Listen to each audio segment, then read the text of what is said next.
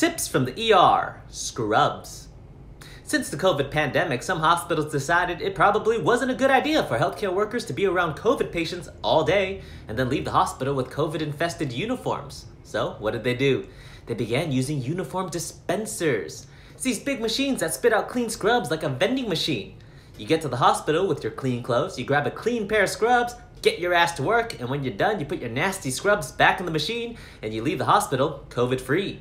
You get to go home to your family or your cat knowing that you did everything you could to keep them safe from your disgusting job. Because remember, on top of COVID, you're also getting blood, pee, poo, spit, vomit, bugs, and pus on your uniforms daily.